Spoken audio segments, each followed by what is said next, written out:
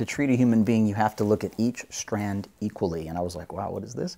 They said you look at the physical body, you look at the, the mental state of the person, and you look at the spiritual state of the person. Because if any one of these three things are out of alignment, then you have dis-ease. Welcome to LivDen by Zoe Therapy Services. I'm your host, Micah Fay, and I'm excited to share with you a community of experts who specialize in helping you feel fantastic. That's what LivDen aims to be an online hub for DIY wellness, led by the experts and curated by folks who care. In this wellness series, I interview Richmond community leaders, vendors, and healers to empower you with a one filled with healthy practices to make every day just a little bit better. So, welcome to LivDen, your online comfy couch surrounded by friends and supported by experts. Come on in, we're excited to have you.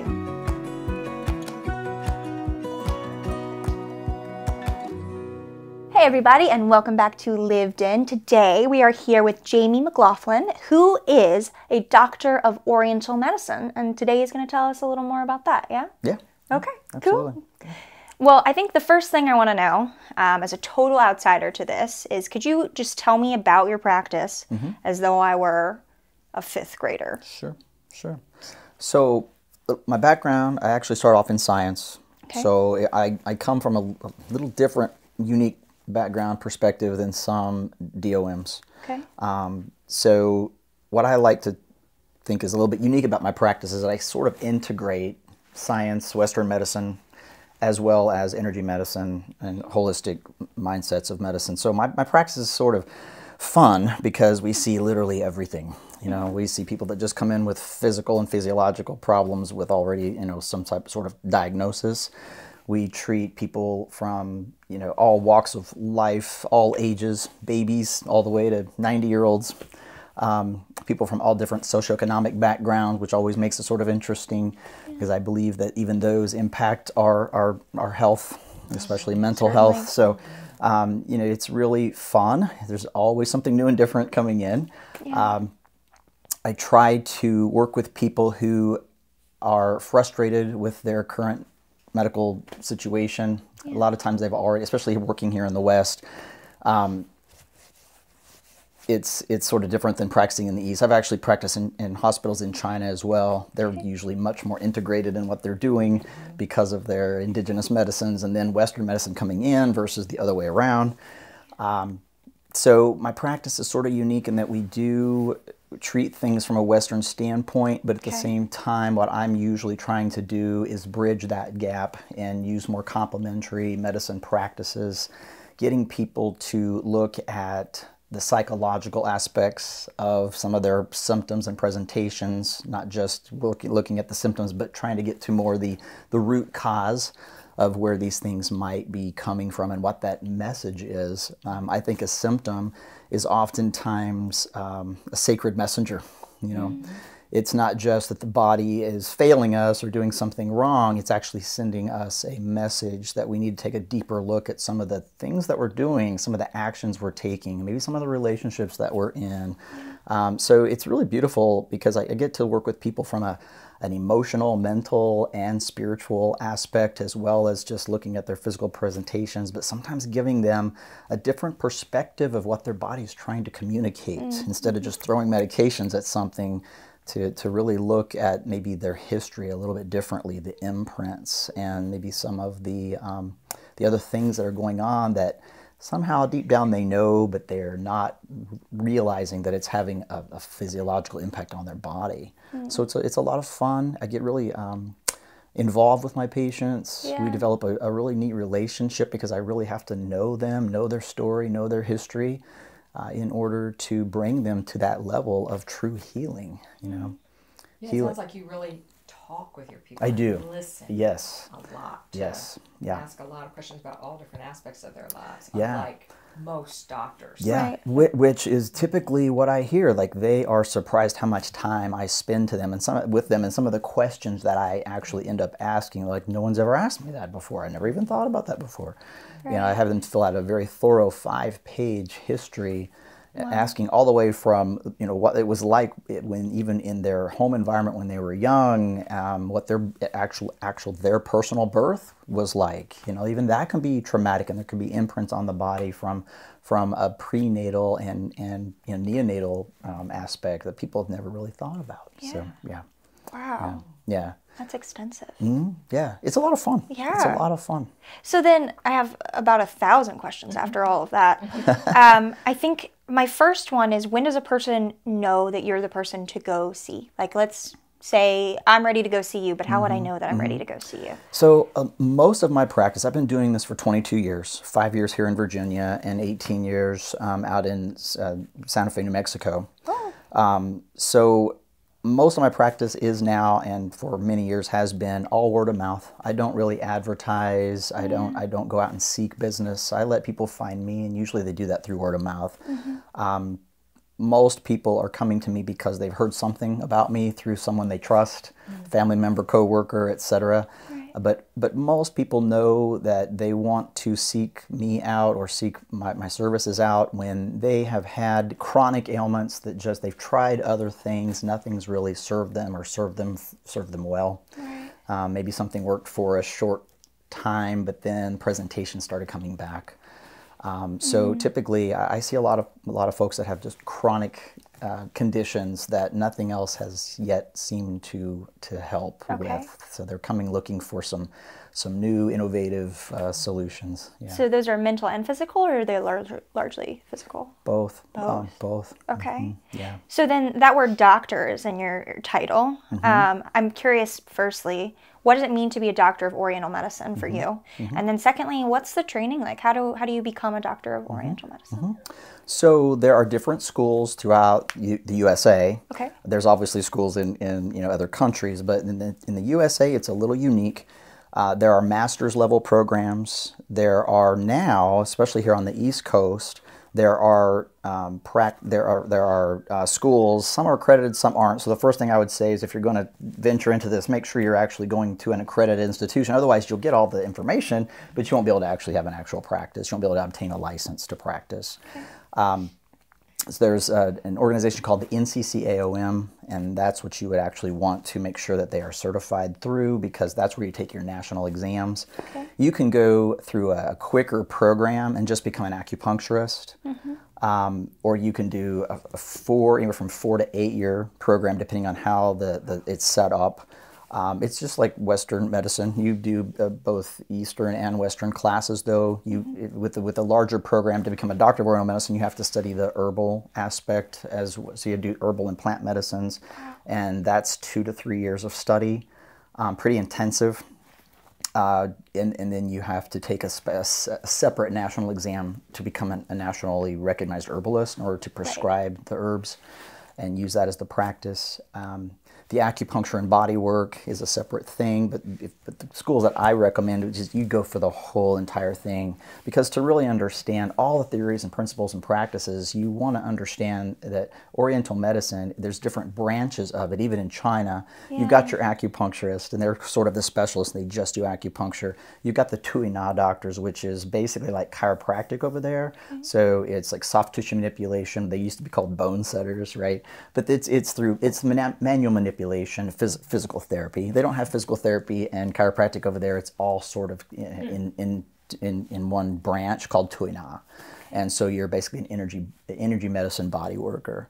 Um, but it's it's really fun. It's a it's a lot of hands-on uh, work. We, I do that mostly with my my children patients. I don't acupuncture babies much unless there's a really serious condition. It's more it's mostly just doing body work and type of uh, physiotherapy.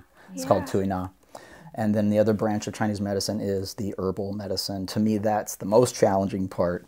It's it's pretty extensive because you're learning learning pharmacology, but you're learning plants, Right. You know, and how to formulate plants. Different than a Western herbalist in that most Western herbalists, although wonderfully trained, they usually are looking at individual plants uh, as far, to use as, as for medicinal purposes Yeah. and the extracts and compounds of those individual plants versus learning formulations. And the difference, so the difference is Chinese medicine really works with formulations because they believe there's a synergy with the plants and an energy that it takes you know six to eight different things to work um, with with the entire body. So there'll be a main herb, a guide herb, and then herbs to, to remedy the the negative side effects of that, so you don't get toxic. You know, Right. uh, yeah, and then also what we call guide herbs, meaning those herbs that will actually drive the formula or the main medicine to the area of the body that you're wanting to focus on. So it's pretty extensive. Really? Yeah, it's it's Yeah. yeah. it's like pharmacology, but, but a little bit more involved. But it's beautiful because you're studying the energy of the plants Right. and the properties of the plants as well. Um, and so when you're looking at again holistic medicine, uh, just like we are, uh, we're not mechanistic. We're the sum of many parts. So are plants. And one plant may have 20 different medicines in it because there's different compounds in different parts of the plant. The flower may do something totally different than the root, than, the, Right, than the stem, than the branch, right? So it's really fun to learn all of that, but you've got to really love botany. Yeah. Um, so, um, and then the other aspect of Chinese medicine that people often don't even realize is a branch of Chinese medicine is Qigong. And Qigong literally means breath work. Qi means breath. Literal translation in Mandarin is breath, and Gong means work. It's breath work. And that is a huge part of the medicine that a lot of people don't learn, and it's it's really very profound. Yeah. Yeah.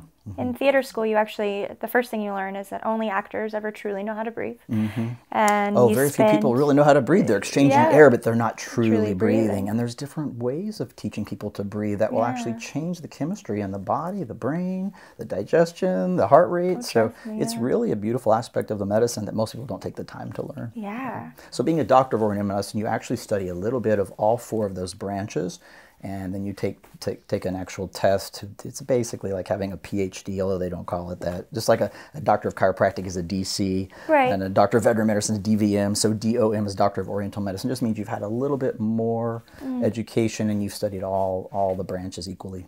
So then let's talk about your branches. Mm-hmm. Which ones do you specialize in? I know you said sort of manual manipulation and Mm-hmm. as well as acupuncture, I believe. Um, so tell us a little more about those specialties that you, You know, have, the, the true essence of the medicine is in the herbs, but I find in the West with big pharma and uh, the way people are, are taught here, it's really a challenge to get people to comply and to be Mm-hmm. open minded to the, the herbal medicines. Interesting. Um, you know, there's a lot of stigma around er, about herbs and plants, and, and there's a lot of products, supplements, and different things, and people ad, you know administering them in different ways. So that to me in the West is probably the most challenging part to implement and get people to to do. Um, although I do think it's the essence of the medicine if you can get people on board and get them compliant and get them again and then you've got these herb drug interactions so many westerners are on you know medications Right. Right. and you've got to be really careful with that because they are medicines. So you may get some things that might not be, um, they may not jive. So you've got to know your herb drug interactions as well, and you got to stay up on that because new drugs are coming out all the time. Right. So it's that's the biggest challenge, but also I think the essence of it right there. Um, most people come to me for the acupuncture here in Richmond Okay. uh, because that's what you know everybody's reading about, talking about, right? So, and you know, people come to me and it's like you have to listen to what they're asking for. You know, if people come to me and they want to try acupuncture, and I try to put them on an herb, they're not going to be very happy with me. So first to be present and listen to what your client is asking for and try to work with them and then slowly I get them to uh, trust me, build rapport and then I'll get them sometimes to try some of the other things that they might not be open to at first. But I'd say most of my clients come in wanting wanting me for acupuncture. That's kind of what I'm known for. In terms of It the, was, the it was. of the consumer. Very much so, because I worked with a lot of indigenous peoples there. I worked with a lot of Native Americans and Hispanics, and they actually don't want to take pharmaceutical drugs. Right. They would prefer to come for the herbal medicines and the plant based medicines because that's what they resonate with and that's what they believe in still. Um, so I, I practice a lot more herbal medicine in New Mexico than I, I did I do here. Yeah. Uh, but I still love the acupuncture and I do get great results with it. But I again have to explain to people it is cumulative. It's not a one time fix, especially for really chronic conditions. Yeah. And I think a lot of Westerners want that, you know, they, they want that. I want results and I want them now, especially if insurance isn't paying for it, they're paying out of Yes. pocket, you know. So a lot of that comes down to patient education. You know, it's like, yes, we can fix this with energy work and body work and acupuncture, but you have to be realistic and realize this is going to be a process. You know, Mhm. Right. you're going to get faster results if you'll take some of the herbals and something you can you know administer daily to yourself. I'm but curious though. I, you would think that a person who trusts acupuncture would also trust plants. yeah, you I think I'd have more trouble with the acupuncture they part. do. Yeah, right. Exactly. Yeah, they they do, but the, but they it just it's especially here in, in Virginia, it's still for pretty conservative here. You know. And a lot of people are coming, um, you know, from a, a standpoint of, well, that hasn't been tested, and they've been told by their physicians that's not FDA regulated, and so they're coming with this fear, you know, Yeah. behind it. So some of it just takes time, rapport, and, and just gaining their trust, really, Yeah. before they'll, they'll listen. Then I have patients that I have, it's like, wow, they trust me so much. If I told them to jump off a bridge, they would go do it. So then, you know, so then those people, it's like, well, you know, you got to be really careful, and that's where ethics comes in because you tell them to try this, try this, and they'll just do anything because they love you, they trust you. You've get, you know, they, they they've trusted your hands, and now they'll trust anything you say. And and not everyone, you know, not everyone needs herbs, just like not everyone needs medication. Some people that- that would come in and want to try an herbal supplement or say, what can I take for A, B, or C? And I'm like, actually, that would be best treated with an acupuncture treatment. So you get you get it from both both sides. But here in Richmond, I'm kind of known for being an acupuncturist. That's that's that's sort of the, the big thing. Okay. I did teach qigong for a while at West. I taught it here for a while, and then my practice got so busy I had to kind of let it go. But that is one thing. As I get older, and um, kind of want to do things to help larger groups of people, that is something that I'm kind of starting to do more and more. Is is teaching the qigong and the breath work because I find right now, especially with this pandemic and all the anxiety and fear, and people are are really needing some self-care tools and to teach people different breathing methods that they can do on their own that doesn't cost anything. It's really a, good service to provide and, and a real gift to give to the community Are you too going to be doing that online, offering? i'm actually i'm putting some stuff together now. Um, my, my, my wife, we were just talking before we started, she's actually a breathwork facilitator from California. So she and I are going to be doing something more things together. We were starting to do a lot right before COVID hit with the community, but now we're like, "Hmm, put, put the brakes on. So we're going to start doing more things, um, you know, through Zoom and through, through, through teachings. Yeah. okay. You and your wife should definitely check out theater schools because I concentrated in voice and vocal manipulation, um, like specifically within dialects. Um, and so for me, we I spent the first six months in corpse pose on the ground, hmm. not being allowed to do anything but breathe. Hmm. We weren't allowed to talk. We weren't allowed to have what, what they call black breath or b- hmm. breath with any sound, not even gray breath, no like hisses. Mm-hmm. Um, and it was six months of literally laying on the ground uh, and breathing and being taught how to breathe for six months. And then I paid, what, $8,000 for that class?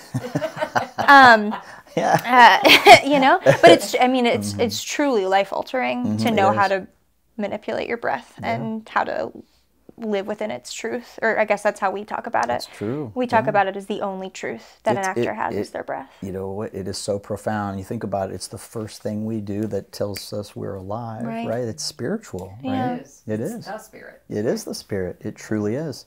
And it's the last thing we do before we leave. And it's the one thing we can't live very long without. We Right. can live without water for a few days and food for months and various things, but we cannot live without the, the breath. yeah Mm-hmm. so then i guess in reflecting on richmond i'm curious your experience in china Mm-hmm. where were you and sort of what was that like and uh, how much do you miss it Yes, I've been to China three different times. Okay. Uh, the longest stint that I spent there was working at a stroke hospital uh, at Heilongjiang University, which is way up in Harbin, China, Okay. on the Russian border. It's quite cold up there. yeah yeah Use qigong a lot just to breathe because it was so cold. You got to keep your body temperature regulated. Uh, so, but that was really fascinating um, journey. I actually was that that was something I um, I actually applied for. I didn't think I had a shot in the world to get it, and then I ended up getting selected. Wow. And so I was like, wow, now I got selected. I guess I have to really do it, you know. So, so I went for about six months and just studied um, neuroacupuncture. So it's different protocols than we learn in traditional school with the acupuncture. And I worked right along um, people that were sort of like physical therapists and speech therapists. We were all working together. Believe it or not, there are speech and motor lines on the, on the scalp that you ne- needle just subdermally, and we would hook that up to electricity. So there, we learned a lot of really unique um, protocols for treating stroke patients. Wow. And with that um, I also had an opportunity to work in a ward where I was working mostly with spinal cord injuries. So I saw some miraculous things happen there that, by our standards in the West, we would think were miracles. But there, they were doing this every day. I saw people come in with massive strokes that, if they had had that same stroke in the U.S. and been treated the way we typically treat post-stroke, they would have had, you know, permanent disabilities for life. And I literally saw people come in and within 30 to 40 days leave that hospital, going right back to their lives, right back to work like they'd never had a stroke. So I know these therapies can be done, but we don't have anything like that in the West. So it was really, I know. So frustrating to mm-hmm. hear. Mm-hmm. What, mm-hmm. what do you think would have to change here for that to be more possible? Well, we'd have to remove ego. Good luck with that. Fir- first and foremost, Deliver us we- from ego, right? yes. First, we'd have to remove all the ego, and we'd have to bend our minds around the benefits and the limitations of science. Mm-hmm. You know, here we're so science-minded. If it's not provable and predictable and objectifiable and quantifiable, then it doesn't. It doesn't. It's not real. It doesn't fit into our paradigm. And they're they're using very little science. They're using energy medicine, meridians. Um, they're basically using the activation of electrical impulses to basically reactivate the neurons. You know, here we, we're told, we're even taught in, in school when we study science that, that neurons don't regenerate. It's the one cell in the body that doesn't regenerate. And there, they don't believe that's true. They believe that basically neurons um, simply lose the ability to communicate with one another when there's a stroke. And so, if we get, as soon as the bleeding is arrested in the brain, they do use CT scans and certain medications, pharmaceutical medications, to arrest the bleeding. But as soon as the bleeding is arrested, then they go in and they immediately start with electrostimulation on meridians and acupuncture points and getting people to um, you know, just start re- reusing limbs and swallowing and speech. They're using some of the traditional therapies, but they're using it all with the lead of Oriental medicine principles. So, so it's really fascinating. They're using the Western medicine for the acute catastrophic event. But then, as soon as that event is, it's, but the body is safe. There's no longer a, a, a true threat of, of death. yeah. Then it, immediately the Eastern medicine therapists are coming in and taking over, and f- and they receive three acupuncture treatments a day for an hour long. So three hours. You know, basically right before breakfast, right before lunch, right before dinner, you're getting an hour long, high stimulated um, you know, acupuncture treatment. But while the needles are in and while the electricity is going off in these different pulses and different frequencies, they're having the physical therapist do this stretching to re educate, to basically get the neurons to communicate again as soon as possible. And the problem that we have here in the West is we wait. We do, we do physical therapy, we do speech therapy, but we wait too long. As soon as the bleeding is arrested, it has to start then. Yeah. If we wait days, weeks, months, here I see people wait years before they come in for a different type of you know alternative care treatment. And by that time, it's like the neurons are still there, but they've just sort of gotten so lazy. It's really difficult to get to get them to get excited again and to communicate again. Yeah. I talk to people all the time when they come to me, like stroke patients, and they've had 15 years since their stroke, and mm-hmm. can I help them? And I said, you know, being realistic, I could probably help with some of the spasticity and some of the atrophy, but as far as getting the neurons to completely refire, to recommunicate again, is sort of like this. It's like having a battle with your with a with a close family member at a Christmas party and you both are very set in your ways and you just refuse to, to, to agree and you go away angry and you refuse to speak for years and years and years the longer that relationship goes without trying to make amends and communicate the less likely it is you're probably ever going to know each other as well again right? Mm-hmm. And it's just like that's what happens with the neurons right? So as soon as that spat happens we need to start communicating forgive continue the relationship um, and because the longer we let it go, it's like they're both fine. The neurons are fine, but they refuse to make an agreement to, to come together and communicate, and therefore you lose permanent activation. you know? Yeah. But what's really beautiful is I truly saw people that had massive strokes come in, and again, they're not allowed to leave the hospital. It's every day for 30 to 40 days until they reach full medical capacity. But most of them would walk out of that hospital. You could never even tell they'd had a stroke, and it was within you know less than two months of the stroke of the event. Wow. Yeah. Mm-hmm. So then I'm curious, after all of that experience, what what do you say to the skeptics, even people who aren't skeptical of, Mm-hmm. of the kind of work you're doing, but like, I don't want a bunch of little needles in me. What what do you do? What do you do about that? How do you Mm-hmm. Talk to them? You know, I just treat everyone with compassion and respect, and it's not my job to sell them on something. It's just my job to provide a, a caring service. And I know I, there's billions of people in the world. I po- I can't possibly help them all, and nothing is for everyone.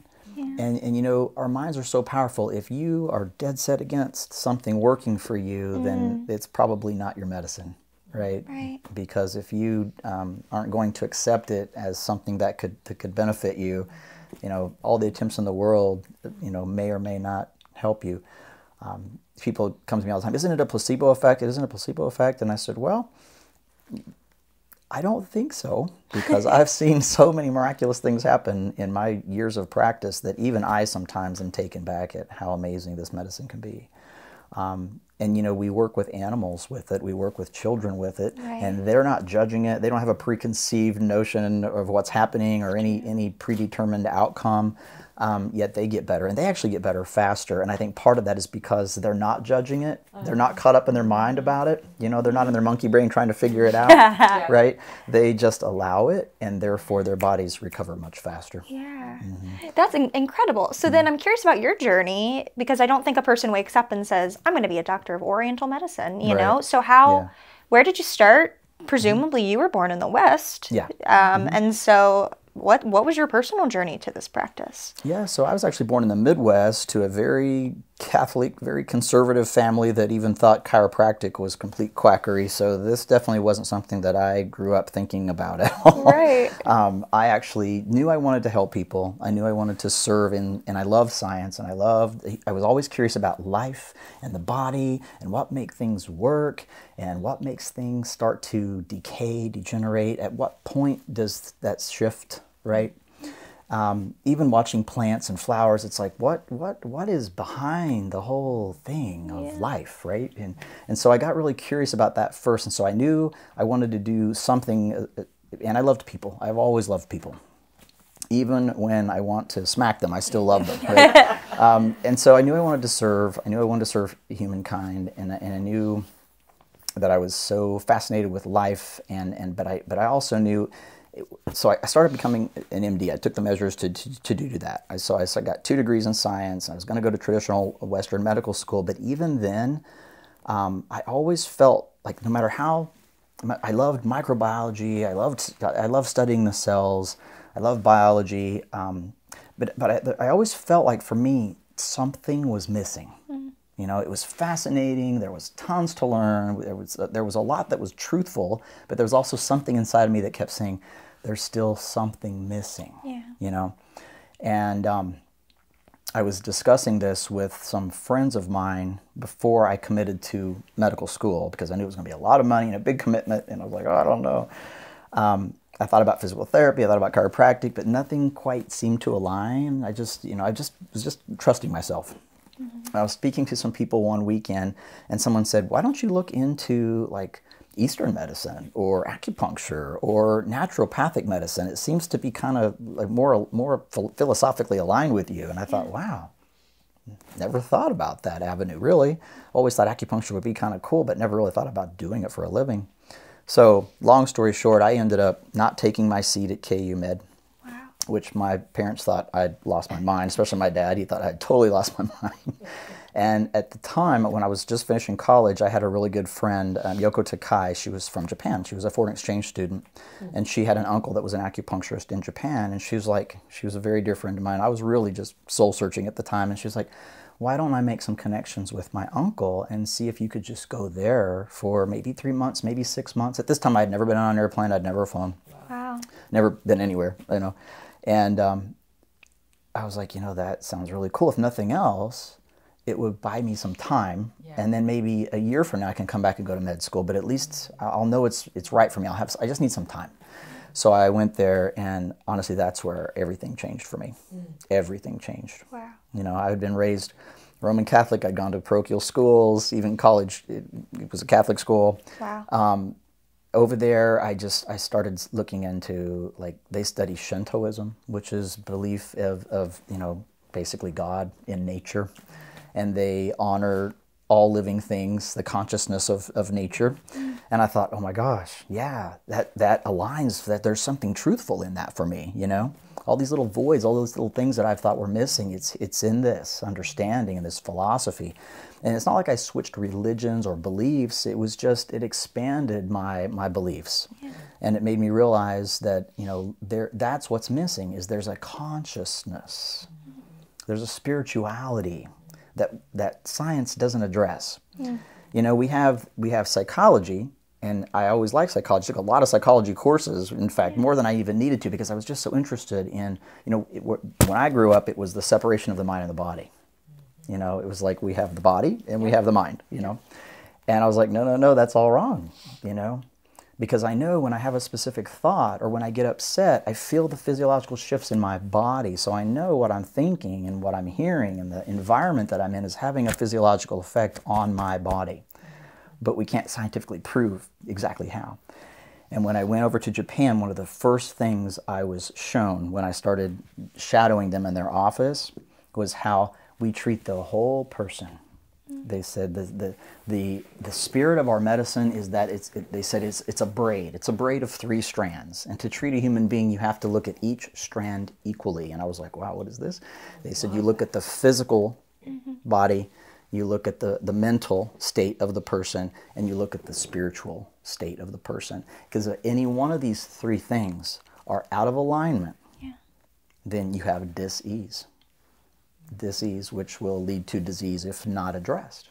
And I was like, oh my gosh. And I just started getting so excited because for the mm-hmm. first time, I was like, wow, this is what my spirit has been telling me all along. It, it's that void, yeah. it's what's missing in the way we practice medicine in the West. Yes. It's not just looking at the physical symptoms and the physiological presentations and the measurements that we take, mm. right? Things within certain limits, but it's looking at what is your spiritual purpose for being here? Are you in alignment with that in your life? Because if not, the spirit's going to start knocking. And what's carrying the spirit around is this form, this vessel, this body. Yeah. So if we're not in alignment with our spiritual selves, who we really are, and why we're really here, if we're just doing this with all the distractions in life, and at some point, if we don't get in alignment with our spiritual purpose, the spirit's going to start creating some rumble in the body. And we can actually look at symptoms. We can look at presentations, especially when they're chronic. And we can actually start to see what's happening. What is the message in that body? There's something in Chinese medicine called five element theory. And I learned that early on and I just fell in love with it and I practice it every day. And what it is, is it says there's a, an emotion a specific emotion that will become out of alignment when a particular organ is out of alignment, or vice versa. So if you have an anger issue, and anger can be frustration, it can be resentment, it can be jealousy, something that's been imprinted, or some type of trauma that we've held on to from an experience.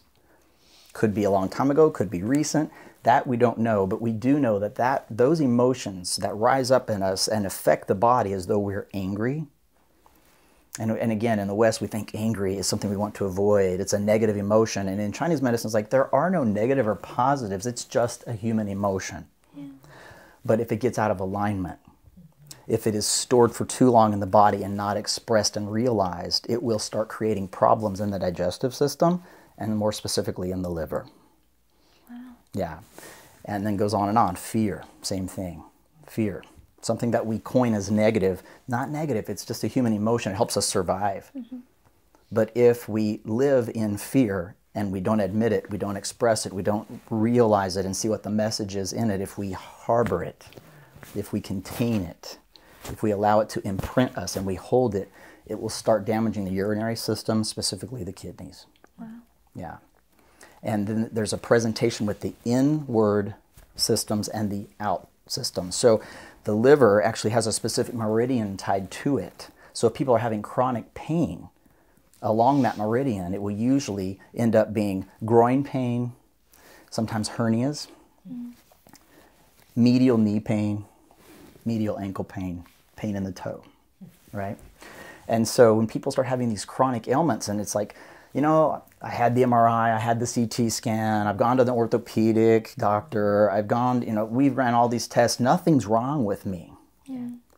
Most of these patients are either told they're depressed, put on antidepressant, sent to a therapist for some talk therapy, which sometimes helps because sometimes they at least realize there's something going on that's an emotion. But Western doctors are quick to poo poo that, you know, this could be, this is liver meridian. The liver function is fine. Well, for now it's fine. But I, I, I look at energy medicine and this five element theory with the emotional stuff. I look at it as though it's like the yellow light starts giving us a signal and information. And if we don't pay heed to it, over time it will become what we call red light. And that's when intervention medicine, Western medicine, does have to come in because then you do have, you know, liver enzyme issues or need a liver replacement. seeing more and more people now here in the West that have fatty livers and liver liver problems, mm-hmm. true liver physiological problems, but they're not alcoholics. Mm-hmm. You know, um, a lot of times our doctors will prejudge them and say, "Oh, you must be an alcoholic. You're just not admitting it because your liver enzymes are off the charts, and you're not. You say you're not taking, you know, ibuprofen. You say you're not taking those other things, but you must be. So you must be an alcoholic." And they'll come to me and it's like, "But I'm not an alcoholic. I don't know why my liver is so upset." And I'm like, "Well, let's go back and look at the emotional history of your life. Yeah. Have you had a lot of resentment? You know, do you, are you short fused? Are you irritable? Are you frustrated? You've been frustrated for a long time. I see this a lot with female patients because they're told socially that it's not okay for them to express anger. They're supposed to be good.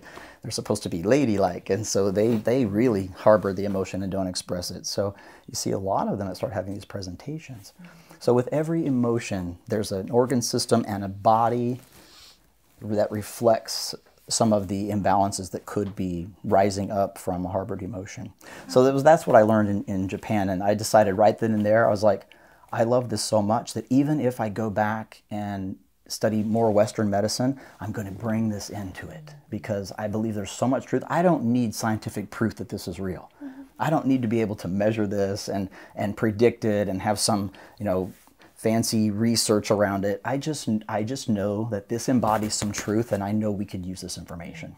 You know, but what happened is the more I studied it, the more I knew, the more it philosophically resonated with me, and the more I fell in love with it. So by the time I left Japan, I decided I was just going to go to Eastern Medical School, and not going to study science anymore. Right. Yeah, and that's my that was my journey with it. I really didn't think I'd practice it for a living, Right. um, but when I once once I learned more and more about it, it just felt like that this was the best way for me to serve was to bring these principles to the West and and at least be an option for people who are frustrated with traditional, you know, methods that aren't getting help because there's some other ways. There's different perspectives of how we can look at what is presenting in your body. And it may or may not be the case, but oftentimes it's exactly what's missing hmm. because most of my patients have already gone the Western route. Hmm. They've already tried everything, and if something is still not working, then we've got to look at what is the spiritual and energetic message that could be trying to surface. And once we get it, once we bring it to a conscious awareness, they heal quickly. And that's what's so cool about it. Mm-hmm. Yeah. It's like a little kid going, Mama, Mama, Mama, Mama. They mm-hmm. just keep nagging at you until you ask, Yeah, you pay attention. What do you want? And mm-hmm. once that communication is there, the symptoms go away. Huh. Yeah. So then, my favorite question that we get to ask um, here at Zoe, we believe not only in mind, body, and spirit, which are our mm-hmm. central tenets, but also the fourth community. Yeah. And that's my favorite one. Um, and I know you've talked over and over again about your call to serve. Mm-hmm. So I'm curious, from your specialized knowledge, what can we take to serve our neighbors, mm-hmm. both metaphorical and actual, better? What can we learn from you today that we can take to become better community members? Yeah, and you know, this is a bigger thing that I've seen this past year with COVID, the pandemic. Um, you know, what we really need is more, um, more of a sense of community and less um, isolation. We Westerners tend to be more isolated than I think is healthy. I've traveled a lot, and I see all these, you know, community-centered, community-based um, peoples, and they may not have as much as we have by our standards, but in some ways they have more because they have a sense of extended family and community. Um, what I would would want for people to, to take from this is even though we have to follow certain protocols and you know obviously there's there's certain things we have to do certain parameters we have to follow however don't lose your connection to your community to your tribe i personally i've studied a lot of indigenous medicines now not just chinese medicine and what i see that aligns with all indigenous peoples is a sense of ceremony mm-hmm. And it seems like when Westerners, you know, Europeans came and took over this land, we, we took away a lot of the ceremony. Mm. You know, we colonized and we made ceremony more of a religion, right? Yeah. And I'm certainly not against religion and religious, you know, gatherings. That's good. Have a sense of community, have a sense of support. But in addition to that, create ceremony in your lives. Mm-hmm bring the ceremony back because we all at some point have some indigenous ancestry in our DNA, and I think we're missing the ceremonies. Whether it's a drum circle or a meditation circle or a group, small group of people doing yoga, even if you for a while have to do it through Zoom, connect with like minded people. Don't allow this polarization that's happening to continue to happen. Stop seeing the differences in people and see the commonalities and, and reconnect with your tribe. And if you don't have a tribe, get a tribe. yeah. yeah. I think, yeah, I love the idea of creating the rituals even around mm-hmm. dinner or yeah. meals. Mm-hmm. We used to, mm-hmm. you know, sit around the table. Mm-hmm. Somebody would say a blessing. Mm-hmm. You're sitting at the table. The yeah. table has been set. And now most people are eating standing up or yeah. on the run or they're yeah. in the living room watching TV. yeah.